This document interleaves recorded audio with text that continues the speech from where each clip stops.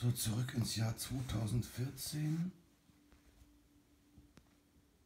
Da fing ich an, nachdem ich dann festgestellt habe, die deutsche Firma Cyber Studio Go Live hat jetzt endgültig ausgesorgt und die amerikanisch-indische Politik hat auch nicht gut funktioniert, muss man auch mal sagen, im Bereich Webdesign. Den Webdesigner alle fünf Jahre mit alle paar Jahre mit neuen Problemen in Softwarepolitik das Leben erschweren. Da wusste man dann, okay, jetzt ist endgültig die Software begraben in amerikanisch-indischer Softwarepolitik, nachdem es die Deutschen dann verkauft haben. Das war so wirklich das einzigste ist immer gut, wenn Land selber was entwickelt, was weltweit genutzt wird und dann hat man noch ein Wörtchen mitzureden. Wenn man alles verkauft, dann ist man halt nur noch der subservient Dienstleister für 0 Euro pro Stunde. Mit sanktionierten Konten Made in Germany. Also ich teste das immer noch durch. Wie gesagt, zurück ins Jahr 2014. Da habe ich mit Adobe Muse dann angefangen. Habe dann auch gemerkt, Mensch, die haben es dann eingestellt, die Software. Hat man, man hat es auch gemerkt, die Browserentwickler hatten, richtig, hatten so keinen Bock mehr, da noch irgendwas zu fixen. Adobe hatte keinen Bock mehr, da noch irgendwas in dem Bereich sich anzustrengen. Die Webdesign, Webdesigner-Riege, die haben das dann schon gemerkt, dass der Markt eigentlich schon echt kaputt ist, der ganze Dienstleistungssektor. Jetzt ist es äh, fast zehn, knapp zehn Jahre später, also 2024 haben wir noch nicht, aber 23 steht schon vor der Tür. Ich teste jetzt noch immer das nächste Sparkle Pro durch, immer noch. Und das WebKit von Apple, die immer noch gut damit beschäftigt sind, ähm, diese Web Technologie zum Laufen zu bekommen, aber irgendwie muss man sagen, man stellt doch immer wieder fest, es gibt immer wieder Unstimmigkeiten zwischen iOS Webbrowser-Versionen und OS X Webbrowser-Versionen. Ähm, also das nächste Prozessor-Zeitalter hat ja schon begonnen. Und zwar es geht wieder los.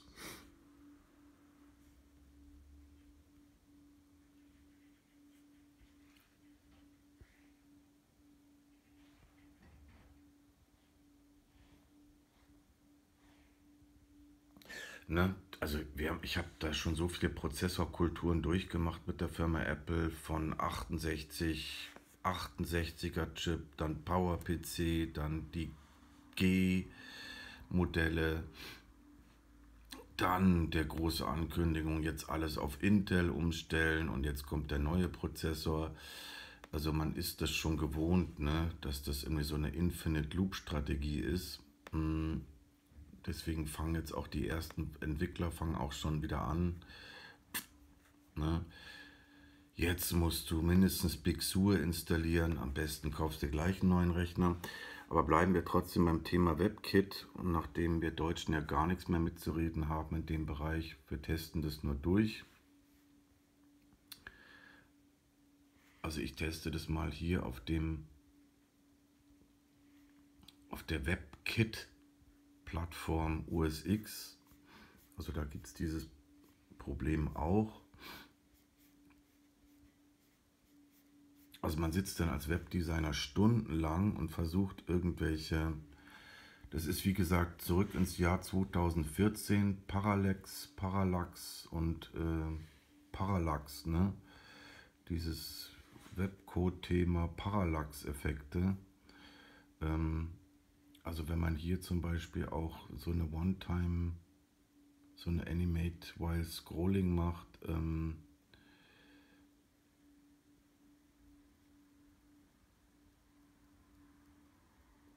so, man kann auch so eine One-Time hernehmen.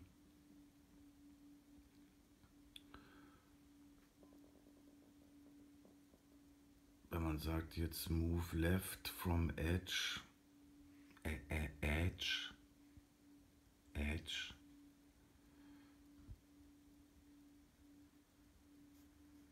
also da wird die ganze Seite so ein bisschen erstmal eingerückt, ne? Aber man hat dann so ein, also ich habe das mal getestet, das funktioniert nicht. Also da wird der Browser irgendwie verkleinert.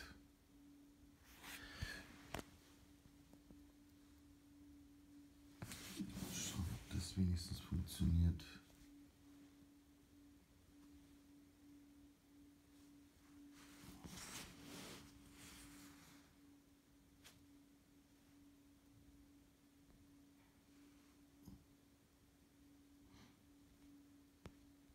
Ja? Also das geht gar nicht.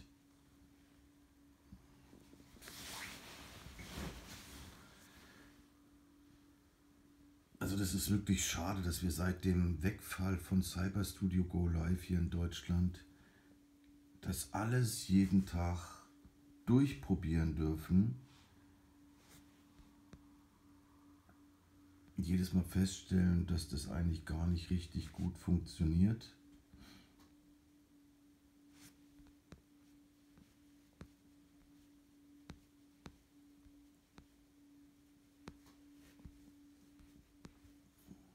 Also diese ganzen...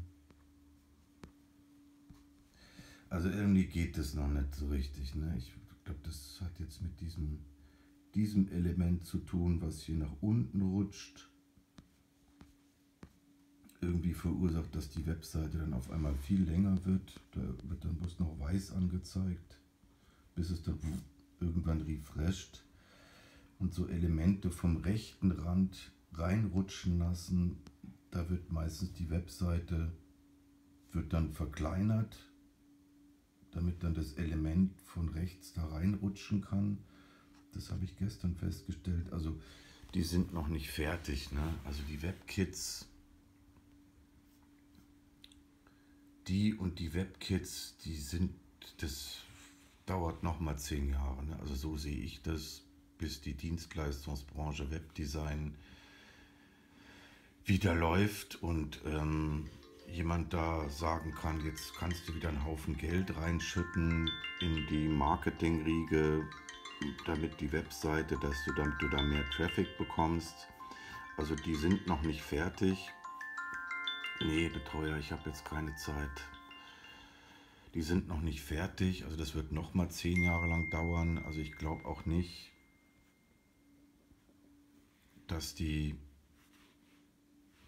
das dauert mindestens noch vier, fünf, sechs, sieben, acht, neun, zehn Jahre, bis eine Webseite der Webdesigner mal frei gestalten darf.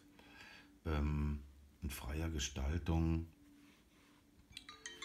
Nee, Betreuer, ich habe jetzt keine Zeit und keine Lust auf dich. Ruf einfach beim Jobcenter Pfaffenhofen an und frag nach, warum mein Konto noch auf 404 Euro Jobcenter Pfaffenhofen sanktioniert ist. Ne, das ist dein Job, Herr Betreuer. Ist nicht mein Job, ist dein Job. Also da habe ich in Berlin ja noch mehr Geld bekommen irgendwie. Also ich bin auch dafür, dass wir Deutsche auf Hartz IV lassen und Ausländer auf Bürgergeld setzen, weil dann kann man den Deutschen immer noch besser, hat man den besser im Griff und kann den besser sanktionieren und zur Arbeit zwingen.